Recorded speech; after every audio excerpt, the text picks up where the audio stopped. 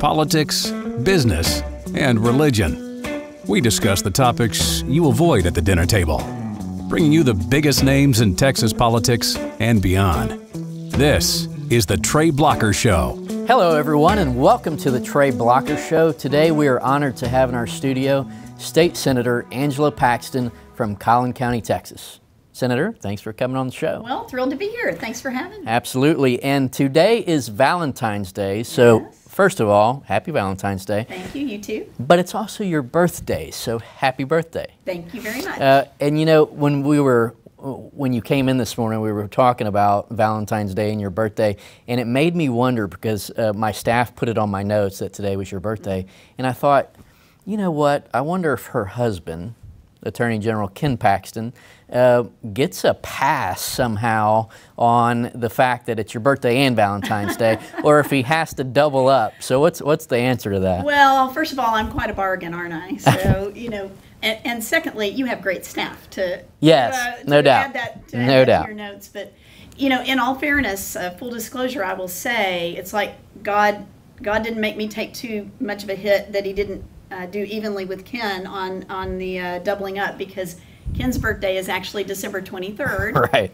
I'd rather have a double birthday on Valentine's than be doubled up with Christmas. I agree. Uh, I Totally think he agree. got the short end of the stick most of the time on Sure. his birthday. But Yeah. um, no, I mean, I I think Ken has always made it a point to go big and uh, and all on my birthday. Yeah, So- that's good. Well, so you were telling me the story about and talking about going big uh, for your birthday. What a couple years ago, he took you to the Grammys. He did. It was kind of a surprise, and uh, he told me to, you know, bring my fancy clothes. And uh, anyway, we flew out to to uh, California. I guess it was in L.A. Right. And um, it was on the 13th. Okay. So you know, we get out there. We met someone for lunch uh, at a beautiful restaurant outside. You know, the weather was great. Um, we got all dressed up and went to a pre-party. Then we went to the Grammys, and it was Adele, and it was Carrie Underwood and Keith Urban, and just everyone, right? Yeah. Um, they did the big tribute to George Michael that year. Um, it, and I love music, and uh, Ken knew that, and so Mm-hmm. Right. it, it was a, a great evening. And then we went to the after party, and anyway, you know, went back to the hotel, crashed for a few hours, and then we got up on the the really early flight. and We're Mm. heading to the airport to get back home uh, to the Dallas area, to McKinney, where we live. Right. Anyway, Ken looks at me, and uh, again, you know, that was on the 13th, so this is the morning of the 14th, which is Valentine's Right. Day and my birthday. So he said, "How's this going for your birthday?" And I said, "You're off to a really good start." so Yeah. anyway, he, he uh, he's like, "Oh shoot!" And so anyway, he You mean I got to do more? yeah, he kind of did a cram- he kind of did a scramble uh, and uh, and um, got in touch with someone that actually uh, a friend of his who was a, a manager at Capital Grille, I think in, in Yeah, Plano, right. and uh, she interned for him a long time before, and he called her and he's like, "I need a favor," and so anyway, she's like, "I'm there for you," and and she pulls off a you know uh, dinner. He's like, "Can I get uh, can I get um, a reservation for two? And she's like, "Sure, when?" He's like, "Tonight." She's like, "Tonight's Valentine's Day." Yeah, again." are you So- crazy? I know, and she's like, "Well, okay, I think I can do that. What time?" He's like, seven. anyway, she pulls it off, and That's uh, amazing. uh, for him. So teamwork. Right. Right. Right. You never know who can come through to help you out later on. Be nice to people. right? That's true. And you didn't know at the time that he was having to pull all those strings. No, so- I, I I found all of that out uh, kind of later on. So it was funny though. We uh, we saw some other friends uh, that were celebrating Right. uh, Valentine's Day there Right. that evening, and you know we talked to them. Ken told me later that he had leaned over to one of the guys and he said, "When when did you get your reservations for tonight?" And they're like. Six months ago, of Mm-hmm. Yeah, course. absolutely. So I think it was kind of by the skin of his teeth, but it was a lot of fun. We, it was, and it, it sure was memorable. Right. Well, Capital Grille in Plano on Valentine's Day, I would imagine that's a hard place to get into. It is. I doubt we'll be able to pull it off this year. No, I doubt it. Plus, we're not there. Well, that's Oddly true. Enough, we're both here in Austin. So, big plans for tonight? Capital Grille here in Austin? So, um, I don't know. Ah. What I know is that after lunch, Ken is picking me up, and it is a surprise. Oh, good. So Good, he has always come through for me before, um, and I am certain that it will be worth my while. He sounds like a keeper. Yeah, he is. Yeah, good. Yeah, he is. 32 years. 32 years, congratulations. Thank you. That's that's always a big milestone. Um, well, I'm going to ask you a random question since you just brought that up. 32 years. Um, we know the statistics these days in the modern era on divorce. Mm. What, in your mind, is the secret to success? Wow. You know, the grace of God. I saw a quote the other day, you know, on, forget where it was, Hobby Lobby or something like that. And it said, the secret to a successful marriage uh, is two sinners who are good at forgiving. Mm, that's important. And, you know, I think, um, you know, life has its ups and downs. We have four children. Mhm. Uh, we're empty nesters now. Right. Uh, we, we have certainly um, seen our share of peril in life, Right.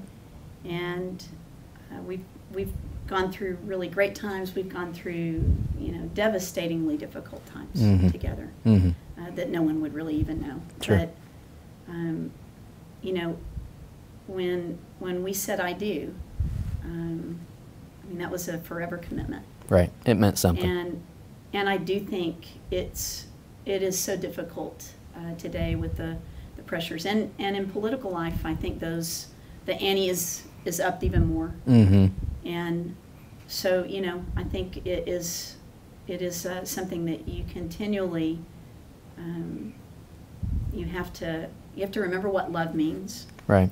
That love is not about receiving. That love is about what doing what's best for the for the other person hmm keeping that in mind, but also remembering that um, without the grace of God, that everything is harder than what we can do. That's right.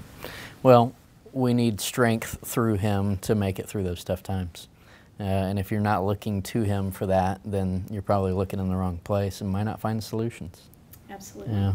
I'm so thankful for the grace of God, for the love of God. Um, and you know, actually, I think it is when when you're going through really difficult times, you really start to understand the depth of the love of God. hmm That's right. You know, That's right. Well, that's when we appreciate them the most, mm-hmm. right? sure. So you are a freshman state senator, Yes. uh, married to the Attorney General of the state of Texas, Yes. who was prior to that a state senator, mm-hmm. and prior to that a state representative. Mm-hmm. So one who is cynical about politics might say to you, "You should have known better." So what motivated you to to run? Well, I should have known better. I think that I would agree with them 100%. You know, I think um, there are a lot of different motivations people have for running for office. Right.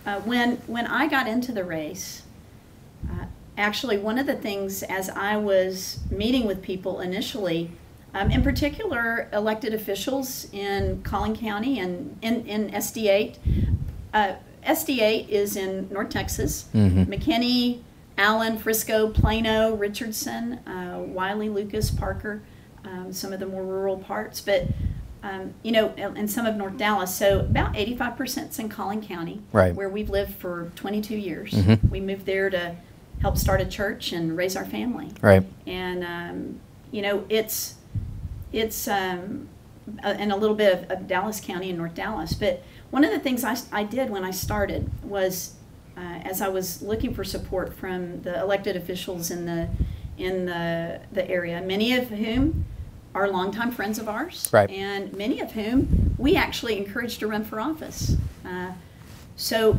I, I asked that question: Why did you run? Mm. And it was kind of interesting to me. There were really two answers that things kind of distilled down to. Um, there were some people that they'd just always been interested in politics, Right. and um, it was something they'd always wanted to do. Ken is someone like that. Um, you know, when when Ken and I met as students at Baylor University, he was student body president, Ah, uh, which is why I went out with him because you know, he was a he was the student body big dog on right? campus, right? Yeah. and then of course that the you know the rest is history because Sure. he swept me off my feet. Right. Um, but you know, Ken always loved politics, and and he was a person that wanted to make a difference um, that was, I think, one of the things that really drew us together. Mm-hmm. You know, that was something he'd always wanted to do because he wanted to make a difference in that way. Right. And um, so a lot of the people that I talked with were, were like that. They'd always kind of been interested in politics and just were interested in running for office. Um, the other sort of person that I talked to, though, um, really s- describes kind of what happened with me. And it was, um, you know, people that said, you know, I'd not ever thought about it. And someone approached me and said, we think you should do this. We Mm. think you're the right person for this. That's Right. what that's what happened with me. Right. So I tell people never in my wildest dreams or darkest nightmares would I have ever thought I was going to run for office. Sure. But I've always believed it's important Right. that we need good people Right. in office. And that's why I was so willing to kind of take the hit and make the sacrifices that it takes as a family to support Ken. Mm-hmm. Um, you know, that that put me kind of in the role of a single mom a lot of times. We have Right. four children. Right. And uh, our kids were three, five, seven, and nine when uh, Ken ran for office the first time. Yeah, that's got to be tough. So, but it mattered, and I knew it mattered, and I also knew that he was called to it. We both believed that, Mm-hmm. um, and I and I think that's the other thing underneath it is, you know, I mean, we all know there are people who who are drawn to this because of power. That's right. But I think for us, uh, we've both been drawn to it in, in, from different angles, but because it gives us the opportunity to influence and make a difference. And, you know, I did that for 22 years as an educator. Mm-hmm. I was a teacher, um, taught high school math, and then I was a guidance counselor. Right. And that is why, um, it, to me, I have the same mission I always had, which is to change the world, to make a difference. Right. Um, it's just the mechanism has changed. Sure. So, deciding to run for office is one thing, and wanting to serve uh, is a laudable goal. But the campaign trail is can be really tough and vicious. So, how did how did you deal with that? Well, that's that's certainly one area where I mean I did go into this eyes wide open, Mm-hmm. and Because you had seen it before through it. Ken's races. and you know I had I had walked through with Ken, um, you know, tough tough races, and uh, you know he ran for speaker, Mm-hmm. and uh, you know if you're going to shoot at the king, you better kill him, and and he didn't. right. right. I remember that. Yeah. That was the year he, you know, uh, uh, was on the lawn care committee or something like that. I think in the house. and all. But you know, um, we we we did that because we felt like it was the right thing to do, and you know, it, it's interesting. Um, that was a really difficult experience for Ken. mm-hmm. Um, in the relationships in Austin, it was difficult for both of us because Right. you kind of go from here to here. And you and you find out who your friends are, right? Well, and that's important. I remember actually getting a sense of that. That, you know what? This matters because we know who our friends really are. That matters. Mm-hmm. That matters for now. Right. That matters for the future. Right. We could never have imagined how, right? But he went from that, which was kind of a devastating defeat, to two years later running um, uncontested for the Texas Senate, Mm-hmm. and then two years later, uh, you know, becoming Attorney General of Texas. Amazing turn of events from from the failed run for speaker to being the Attorney Right. General of Texas. So, so you know, I, I, I watched that. We knew that um, in my in my primary, it was going to be probably brutal, Mhm. uh, expensive, and and kind of nasty. Right. Uh, we knew that there'd probably be a lot of TV, Right. um, and and you know, it was it, in the primary. It was not just aimed at me; it was also aimed at Ken. um, and, and so, you know, I remember I looked at Ken when we when we were making the decision up front. I said, "I'm not willing to do anything that is going to make it worse for you." Right. And he said, "This is the right thing for Collin County for SD8. Um, I can take care of myself. Let's do the right thing." Right. So we did. That's good. Nobody's nobody was a bigger supporter than Ken. I'm sure. So I, I suspect it's a little known fact that you are quite a talented guitar player and singer. So did, did you bring that talent out on the campaign trail? Did that get you a bunch of votes, or did you kind of not, not use You that tool? Uh, that, that's that's so funny. I, I love to sing. I don't I don't know that I would say I'm very talented. Uh, that's uh, that's uh, nice for you to say. I, I would say I'm very average. Um, I'm kind of a uh, kind of good at a lot of things. Right. Not great at any of them, but sufficient, right? So my, my guitar certainly has come in handy. Uh, you know, I, I think, um, you know, I, I do think part of what that did for me, though, is that along the line, along the way, uh, as Ken served and campaigned, um, you know, that was something we always did together. He didn't do it solo. And so I often introduced him at, at events. I often went to events that he couldn't go to. Um, and so, you know, I, I'll, I'll be honest, when we first started, um, again, talking about me running, one of the things that, that, that I said to him was, I said, Ken's no, no one's going to think of me seriously as a candidate. They're just going to say, you know, that's Mrs. Ken Paxton. Right. Uh, and and Ken said, he goes, Ange, no one who knows you thinks of you that way. Mm-hmm. Um, and and I knew that was true. And so, you know, there are times where you have to just make a decision. People may think this, that, or the other, and I knew people would would think that. Oh, she's just trying to, That's right. you know, tag along on on uh, on his coattails and that sort of thing. But but you know, I knew that wasn't what was driving it. Um, I knew it was going to be hard. That wasn't enough for me. Right. I, I had no ambition to do this. I did it because I felt like the district needed um, someone from there that was invested in the community that would really represent it because that's their home. Right. Yeah, absolutely. I think you did it for all the right reasons. Uh, I appreciate your humility on, on the on your musical talents, uh, but if you don't have some skill, you don't get invited to sing the national anthem at the Texas Rangers Stadium. So tell us about tell us that story real quick. I grew up in church choir, um, and uh, I, you know, was always involved in church ministry, leading music, and, and that sort of thing. So I grew up singing in church, and um, something I love to do. Uh, when when Ken and I got married, and um, actually when our when our kids were young, you know, that was something I continued to do, sing at church. I actually recorded a, an album of songs that I wrote and used Right. to sing at churches um, early on. And then when we started having kids, that got harder to, to kind of manage. But uh, Ken was always really supportive of, of me singing and all. And um, anyway, he encouraged me to um do kind of the big, the first really big thing. And he's like, why don't you see if you could, uh, you know, sing at a sporting event? I later figured out that there was really an ulterior motive because when you do that, you get free tickets and a parking pass. Oh, most of the time. okay, I'm- I'm- okay. I, that may, may have had something to do Uh with huh. it. Uh huh. But but you know the very first big break I had, uh, Ken came home from a meeting with a group of guys that uh, they were all they were all Christians. They were all guys that were interested in politics. Mm-hmm. Uh, many of them went on to run for office uh, later on, but they just wanted to be engaged in making a difference. Right. So he comes home from this monthly meeting with these guys, and he says, "You know, George W. Bush is going to run for governor." He was the owner of the Texas Rangers at the time, and we lived in the in the uh, Dallas area. He says, um, "You're going to sing the national anthem at his Dallas kickoff." Oh wow. and uh, for the for the governor's race. And I'm like, okay. So I was I was excited about that. I knew it was a great opportunity and it'd be neat.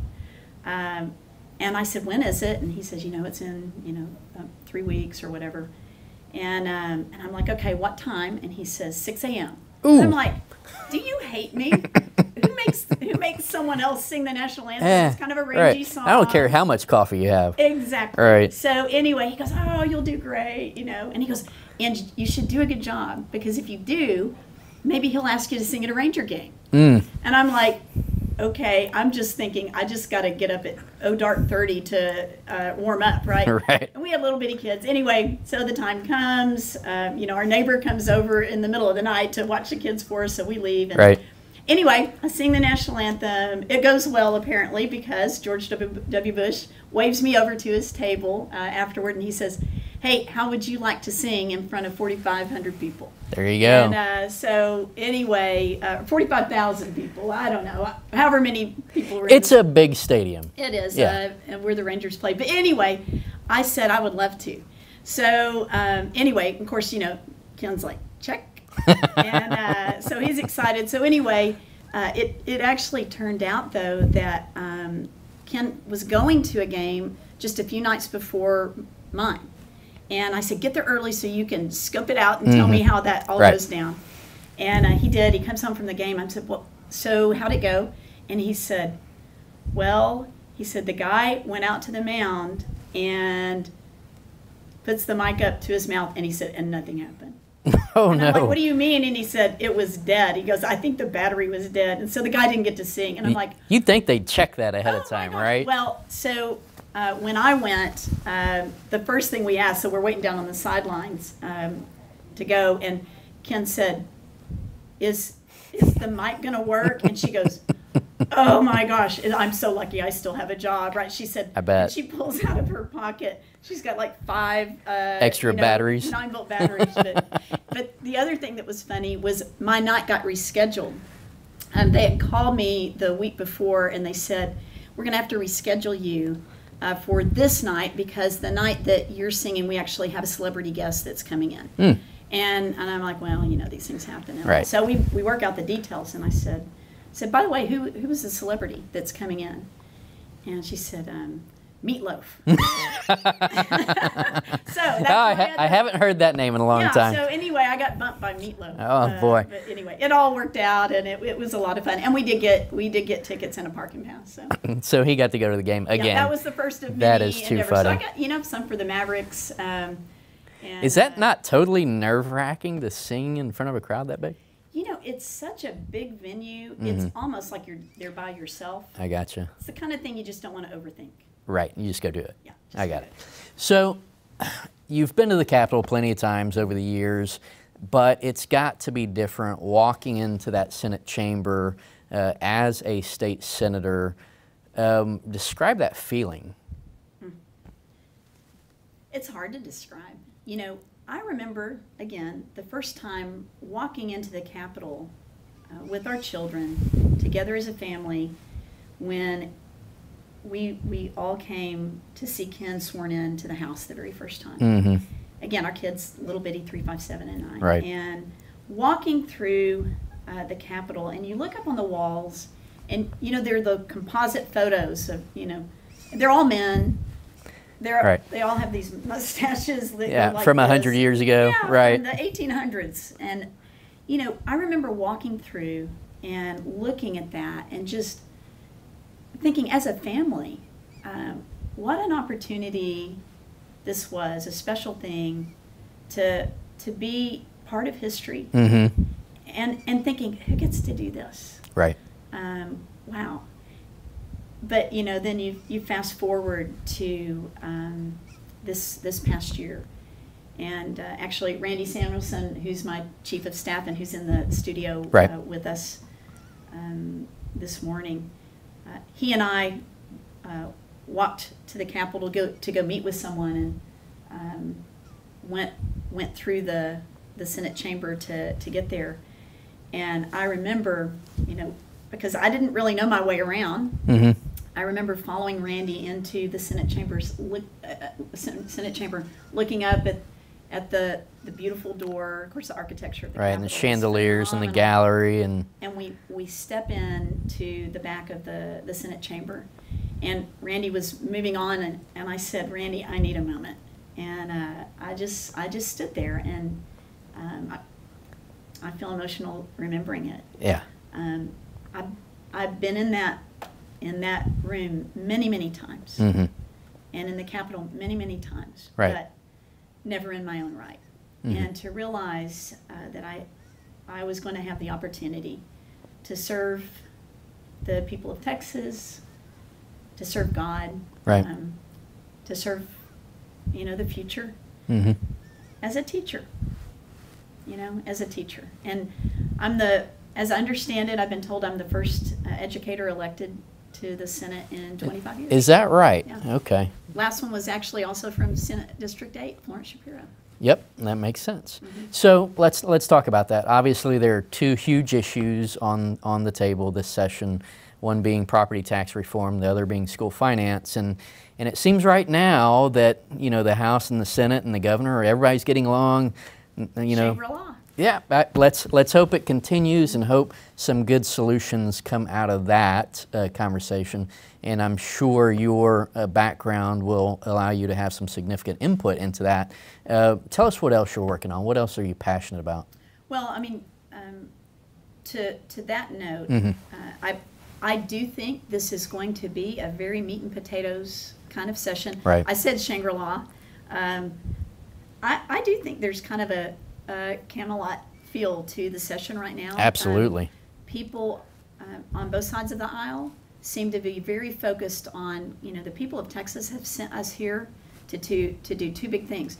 The, the speaker knows it, the lieutenant governor knows it, and the governor knows it, and, and all of the members know it in both houses. Right. And that is property tax reform and school finance.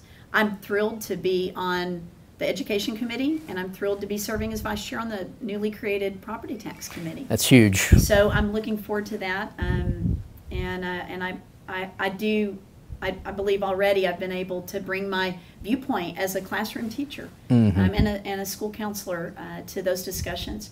Uh, additionally, I'm on business and commerce, natural resources. Wow. So, um, you know, I'm, I'm great. I'm just. It's a great opportunity to make a difference on Right. many levels. My my master's degree is in education, so I got my undergraduate in mathematical science. So it's a math computer science degree, um, and I went back to school to get certified to teach and got my master's in education.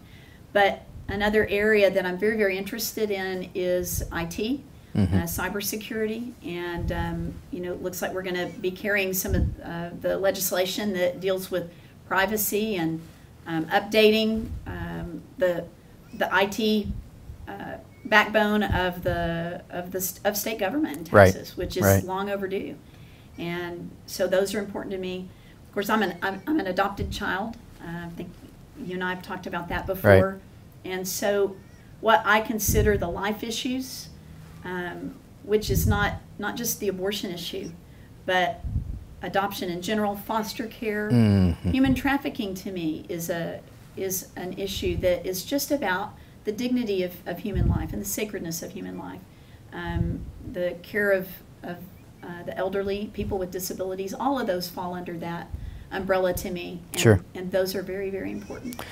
Well, I think you'd agree we have a, a moral obligation to take care of the least among us. And unfortunately, our, our child protective services in the state and, and similar state programs have been woefully understaffed, underfunded. The, the people who work there are overworked.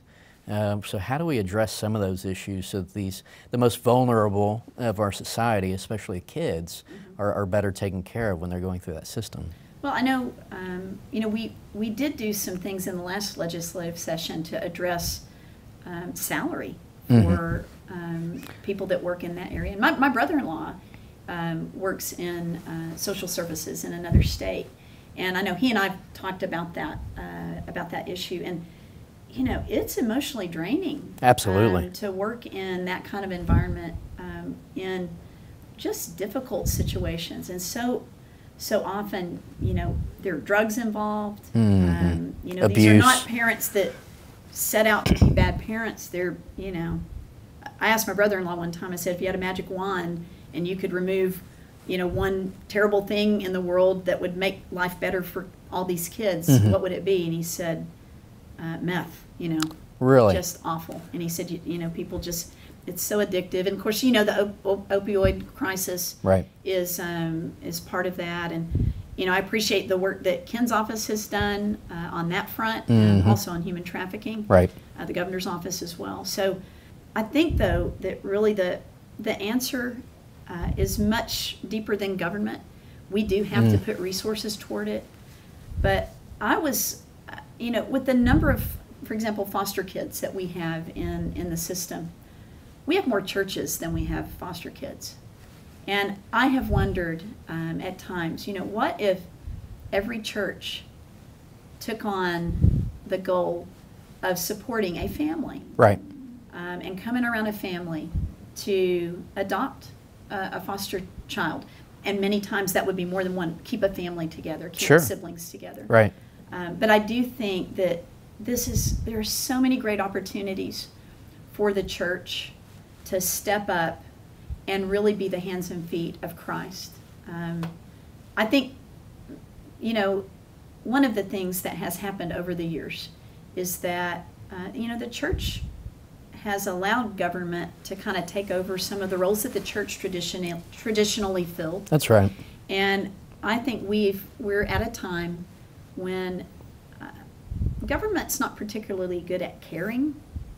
It it's good at sort of supporting with resources in a in a kind of bread and butter kind of way. Mm-hmm. Uh, but but it's you know government is not the same as heart. That's the church. That's people Right. that love people. Well, and I think to that point, the the better solution is making sure people understand the problems that we have in the system and the number of kids in the system mm-hmm. and what happens to kids when they get booted out of that system when they turn 18 and have no one to turn to. Right.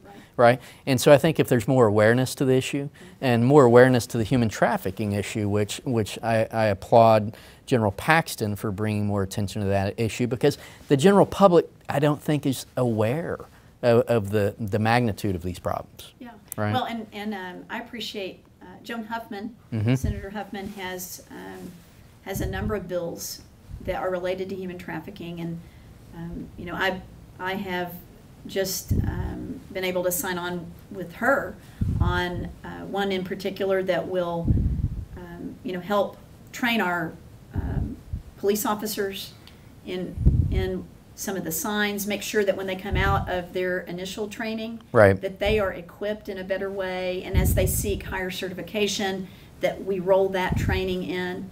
Because it really is true. I mean, so often the way these these cases are solved, the way that people are rescued out of that, is just people noticing something odd and saying something about it. Right. Um, it's it's something that awareness is critical, and I think part of what it's it's part of maybe my training, but my wiring as well as a as a teacher is really a, about helping people understand.